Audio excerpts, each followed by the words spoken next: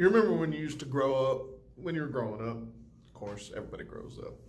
But do you remember when you were growing up and you used to play on the playground with your friends and you would imagine that you were like the X Men, right? And you would all be the X Men, and you'd be like, "Oh, I'm Nightcrawler," and you know your try-hard friend would want to be Gambit, he'd demand to be Gambit, uh, and you know there'd be another buddy who's like, "Oh, I'm fucking Wolverine or whatever," but then you'd have like this other friend who's like you're friends with them because nobody else wants to be friends with them and you're trying to do the right thing because you're raised right but then you realize slowly why no one wants to be his friend in the first goddamn place because it's like he's like, "Oh, I'm Professor Xavier, and I can shut down all your brains instantly." And you're like, "Well, that's kind of not in the spirit of things." And then he's like, "Well, also I got robot legs, and now I can run." Lady Deathstrike and me became friends, and she gave me cyborg legs. So now I'm Professor Xavier with cyborg legs, and you're like, "Well, that's."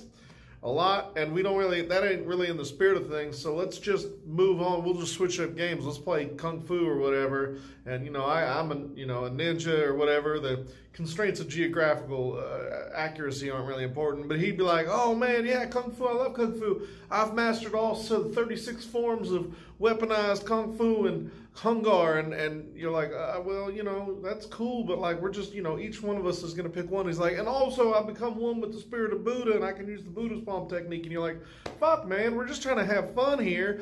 And he's like, "Oh, also I'm, I'm part dinosaur, and I can transform into a T Rex." And you're like, "We're not even playing dinosaurs. Will you chill the fuck out, man?" And uh, and that's kind of like how uh, Bleach is. That's the anime Bleach. Only your annoying friend is the protagonist.